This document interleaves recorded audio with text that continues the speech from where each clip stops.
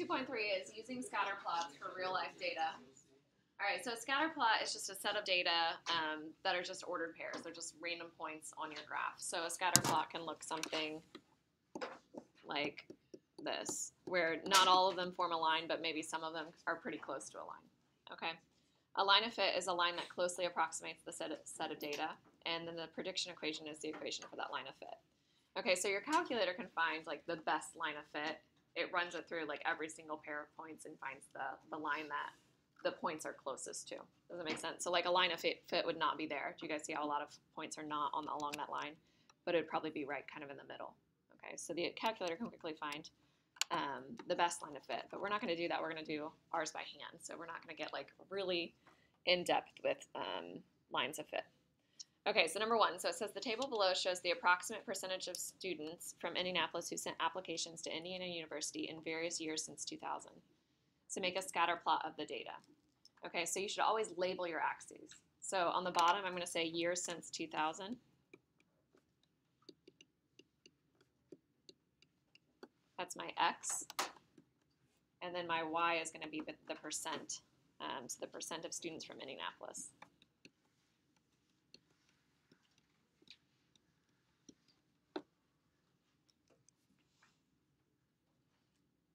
Right, so in 2000, let's say 20% um, applied. So we have, notice how we're only going up to 20, and our numbers are all below 20. So you should always think about the best way to scale your um, graph. So if the highest point is 20, let's think about it. We have 1, 2, 3, 4, 5, 6, 7, 8, 9, 10 tick marks. Yeah, we could go by twos, exactly. So we're going to call this 2, 4, and so on.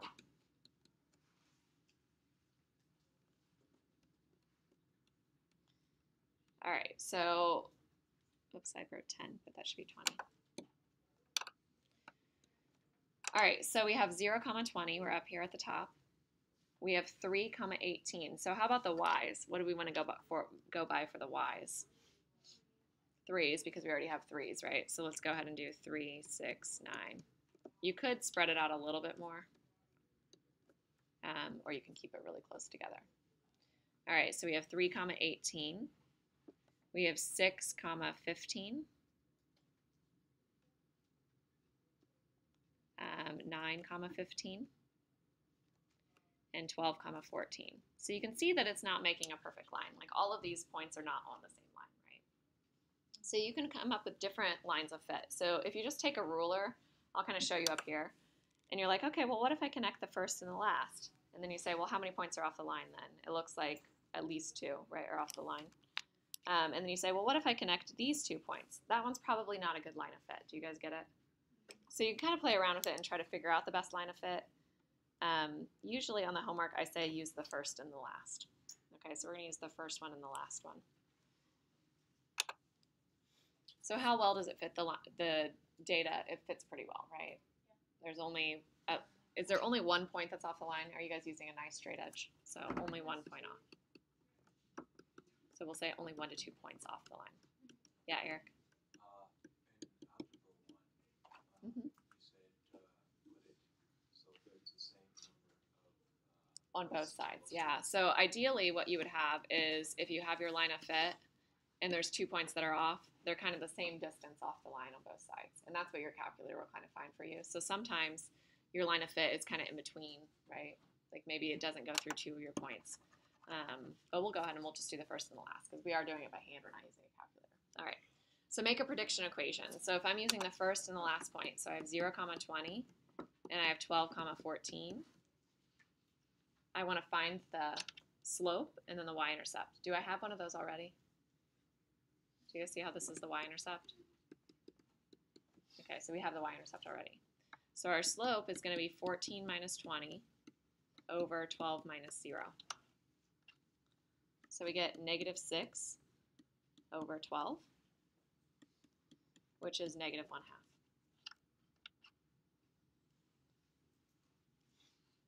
So our prediction equation is y equals negative 1 half x plus the y-intercept, which is 20.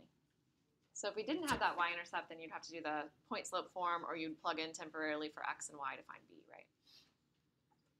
All right, so it says, what's the slope and the y-intercept indicate? So what, how about the y-intercept? What does that indicate? Like in this situation? What do you think? Look at your original data.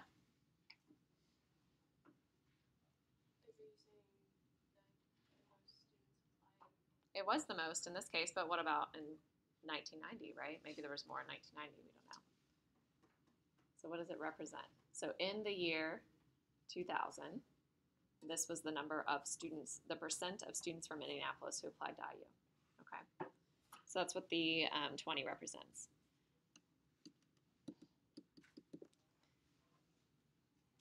So it's the original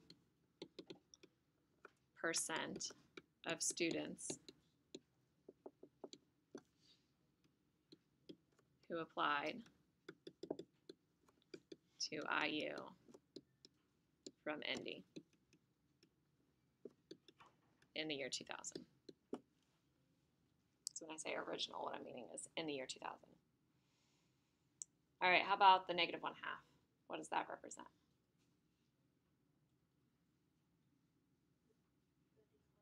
Yeah, so it's like the rate of decrease, right? So we're decreasing by negative one half um, every single year. So that is the rate of decrease.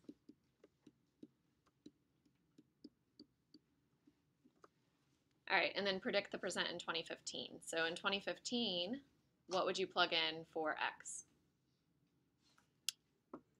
15, right? So we're going to plug in 15 into our prediction equation. So I get negative 1 half times 15 plus 20.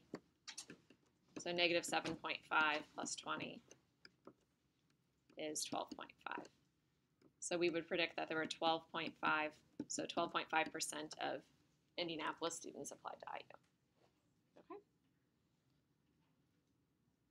Does it make sense? So you find two points, create a prediction equation, and then make a guess based on that. All right, so number two. So it says the table shows the number of calories burned per hour by a 140 pound person running at various speeds. Make a scatter plot and draw a line of fit. Okay, so we have the speed and we have calories per hour. So we're going to make the speed our x and our calories per hour our y. So it's actually okay if you do flip those, um, but your equation will be different than your friend's, right? Your slope will end up being like the reciprocal. So I usually do the first data set as x, the second one as y. So we have a speed, and we have calories per hour. And our speed is 5, 6, 7, 8, and so on.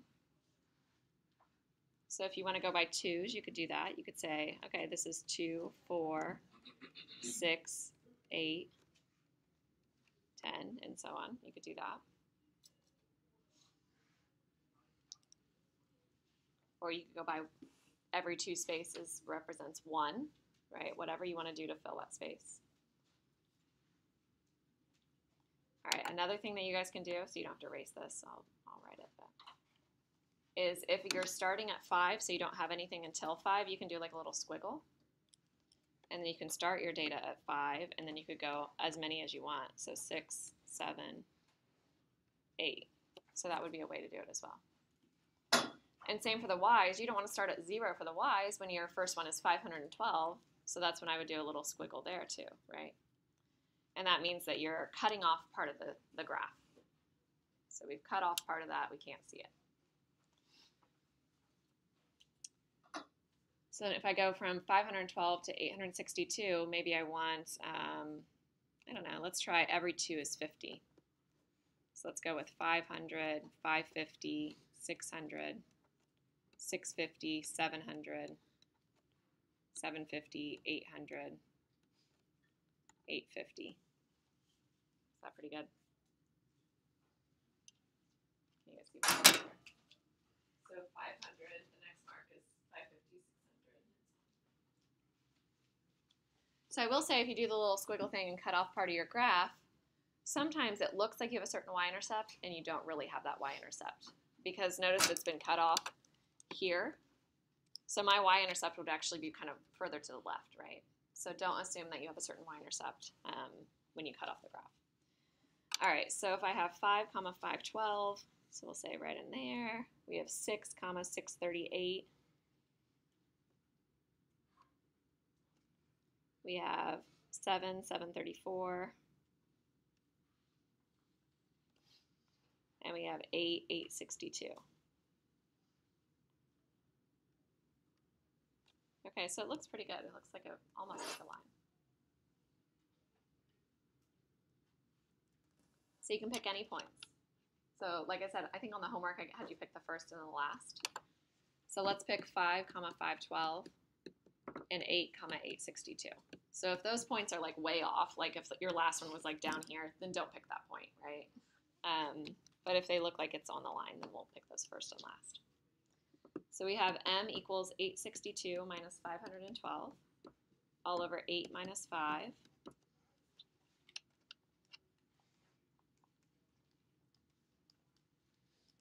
So I get 349 over, wait, that's not right, 862. I should probably be able to do this in my head, right? Uh, 50 over 3.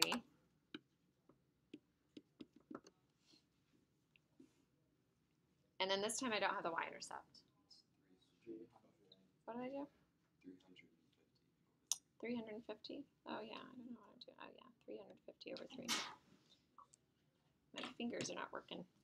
All right, so 350 over 3, and then I'm going to plug it into um, my y minus y1 equals m times x minus x1 because I want to find my um, prediction equation, right? So I have the slope, 350 over 3, and then I'm going to plug in 5 comma 512. And it, you could plug in either one, you'd get the same equation.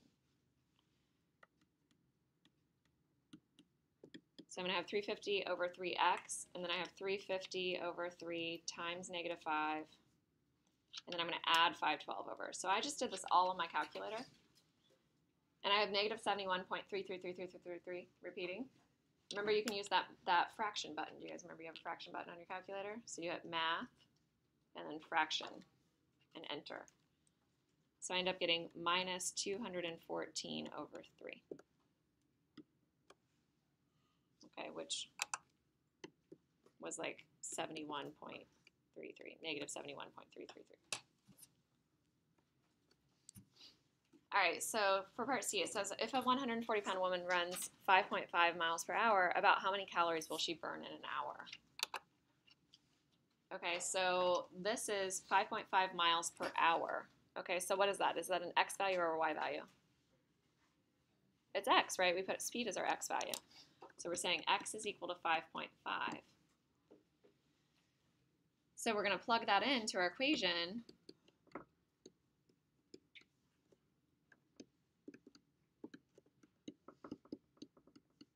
to get y.